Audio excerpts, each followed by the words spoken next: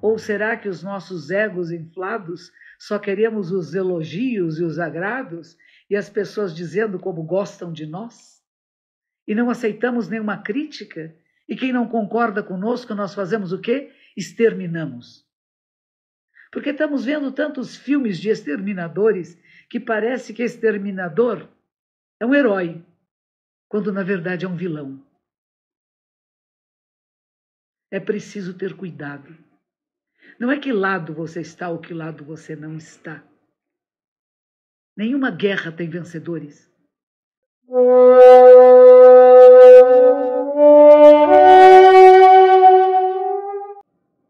Você nasceu com uma certa carga ancestral, né?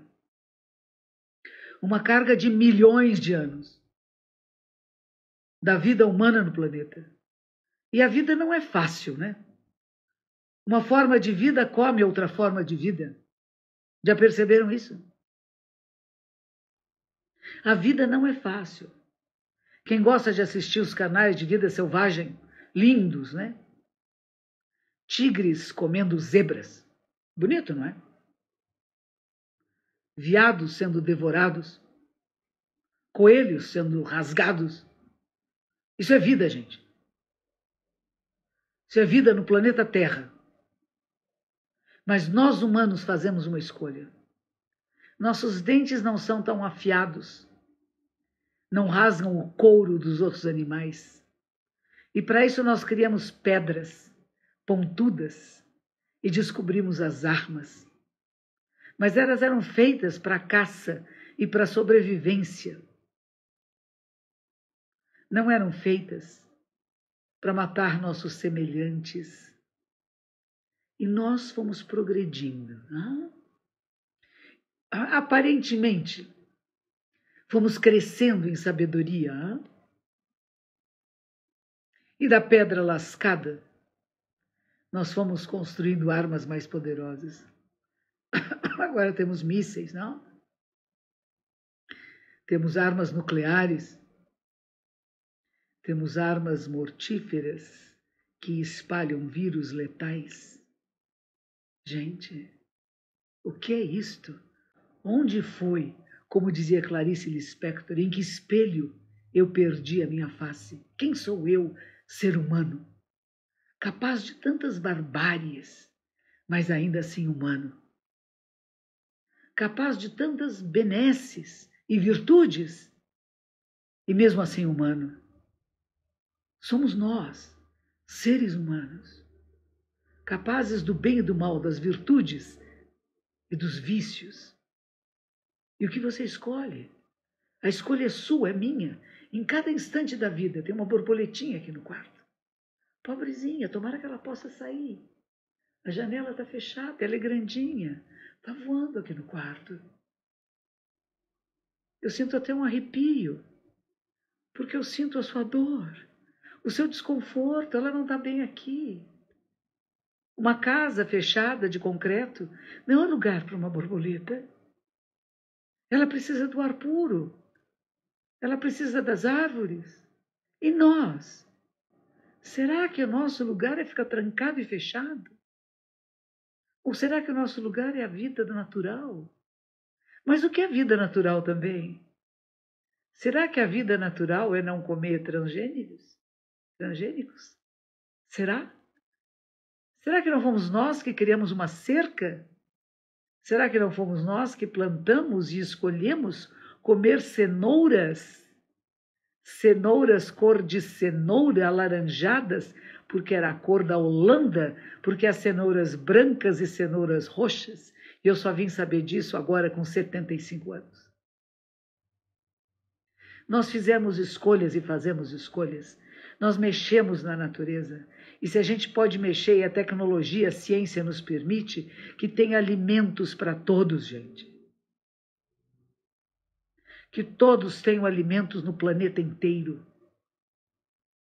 E já foi comprovado que não faz mal. Eu estou lendo isto recentemente, da Pasternak.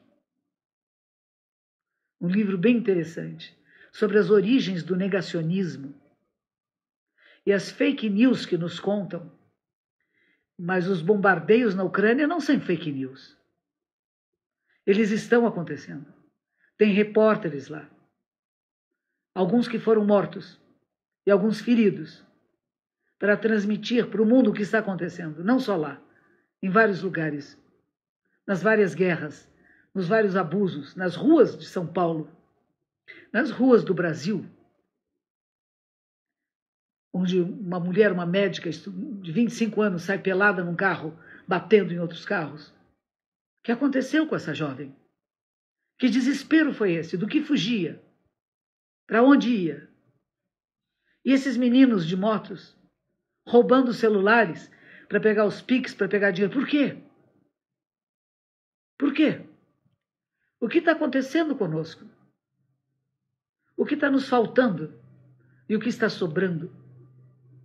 Há uma expressão maravilhosa: quando a roda do Dharma gira, nada falta e nada excede. No Japão, foram monges budistas que ajudaram a escrever a primeira constituição, leis de convivência, de harmonia. Isso pode ser feito. Não são leis religiosas, tem que ficar meditando e orando, não. Como conviver em harmonia, pessoas como encontrar pontos de equilíbrio, como cada um pode ceder um pouco. E quando há bons governantes que são capazes de ouvir bons conselheiros, o mundo fica em paz. Mas se isso não acontece, nós temos violências e guerras. Onde estão os bons conselheiros agora? Onde estão os bons conselhos que levam uma sociedade à harmonia? Que leva para o bem coletivo, que nos preocupamos não em ter vantagens e salários altos, mas entregar nossos salários para o bem do coletivo. Há países que fazem isso, há políticos que fazem isso, mas ainda há muitos que não conseguem. E nós não devemos odiá-los por isso. Pelo contrário, é como uma planta que tivesse uma doencinha ou que tivesse uma dificuldade em crescer. A gente tem que acolhê-los. A gente tem que aquecê-los com sabedoria e compaixão para que despertem, para que sejam capazes de ações verdadeiramente claras e benéficas, que as guerras cessem, que os bombardeios e as mortes cessem, que a destruição cesse e que possamos encontrar o ponto de equilíbrio. Isto é ouvir os sutras, é praticar os ensinamentos. Não adianta decorar palavras se você não é capaz de segui-las na sua vida diária. Isso é praticar, ouvir os bons conselheiros, pessoas isentas de intenções. A pessoa da não intenção bate no portal principal, deixe-a entrar, não a afaste. Por que, que você se cerca de pessoas com tão boas e más intenções, hã? E onde está a pessoa sem intenção? Que não quer ganhar nada, que não tem nada a perder nem a ganhar e que pode aconselhar de verdade. Bons conselheiros, como são importantes, né? Será que as nossas lideranças mundiais são capazes de reconhecê-los? Ou será que os nossos egos inflados só queremos os elogios e os agrados e as pessoas dizendo como gostam de nós? E não aceitamos nenhuma crítica? E quem não concorda conosco, nós fazemos o quê? Exterminamos. Porque estamos vendo tantos filmes de exterminadores que parece que exterminador é um herói, quando na verdade é um vilão. É preciso ter cuidado. Não é que lado você está ou que lado você não está. Nenhuma guerra tem vencedores. Nenhum povo devia entrar em guerra com nenhum outro povo. Buda foi muito hábil nisto. Uma vez dois povos, dois exércitos iam se degladiar. Ele sentou no meio da estrada. Eles conheciam ele, sabiam que ele era filho de nobre também. E vieram falar com ele, mas saia daí, vai ter uma guerra. Ele disse, não vai ter guerra. Vocês têm que se entender. Vocês têm que encontrar um ponto de equilíbrio. Estavam brigando pela água. A água passa nos dois reinos. Compartilhem a água. Parem de brigar. Vocês compartilham o que têm. Compartilhem as terras, compartilhem a tecnologia, compartilhem a sabedoria, compartilhem o amor. Ah, o amor. Eu vou ter que ler para vocês isto. Tem uma coisa maravilhosa. Eu vou até parar um pouquinho aqui do, do Gensenji Sama. Segunda-feira que vem a gente continua, mas eu tenho que ler isso para vocês. É um livro extraordinário, maravilhoso, do Walter Ugumãe, que se chama Serei Sempre o Teu Abrigo. Nós falamos, retorno e me abrigo em Buda, retorno e me abrigo no Dharma, retorno e me abrigo na Sangha. E olha que coisa bonita, quando ele termina o livro, ele diz o seguinte: Há sempre lugares, nem que pequenas gavetas, onde não se fica ou não se mexe lugares onde protegemos com garra e ternura uma parte da vida, garantias ou provas de amor, tudo quanto nos mantém ou pode reerguer. Aprendemos sobre isso com pais e avós. Ficar longe das peças de porcelana que herdaram do século XIX, não abrir as cartas de namoro antigas, deixar quietos os brincos que brilham, os recortes dos poemas na revista dos domingos da nossa infância, a pagela de São Bento que sabe milagres. Cada coisa à sua maneira é a fortuna possível da família, da família humana, gente.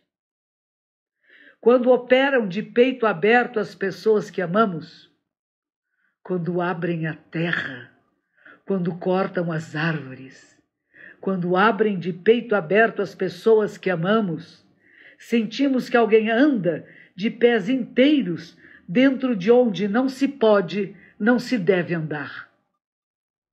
Pensamos que é chegada a hora de usar toda a ternura e a fortuna, porque não importa mais nada senão a gloriosa saúde. E imediatamente nos aflige que acordando quem amamos possa não nos amar mais. Quando se abre o peito de alguém, pode o amor escapar como evaporado por fim? Que saúde têm os que deixam de amar? Quando operaram a minha mãe, ela seguiu amando. Ficou saudável. A minha mãe ficou saudável continuamos todos abrigados no seu coração, por alegria, pela ternura e tesouro da família. Fica este livro, igualmente bravo, para que entre nele de pés inteiros quem quiser, sem deixar de amar, sem jamais deixar de amar. Walter Hugo Mãe. Esse livro se chama Serei Sempre o Teu Abrigo. Retorno e me abrigo em Buda, e serei sempre o teu abrigo, porque onde eu me abrigo é que eu posso abrigar todos os seres. Que o nosso sagrado coração seja capaz de acolher todos os seres. E que o amor não desapareça, que o amor possa vencer sempre nesse abrigo, nesse cuidado, nessa ternura. Que não pisem no nosso peito aberto. Pelo contrário, que sejam delicados e gentis. Que a paz prevaleça na terra. Que os méritos de nossa prática se estendam a todos os seres e possamos todos e todas nos tornar o caminho do despertar. Gente, estejam na grande paz de todos os seres despertos e que todos possam despertar. Nirvana, meu nome. Muito bem. Até breve, gente. Até breve.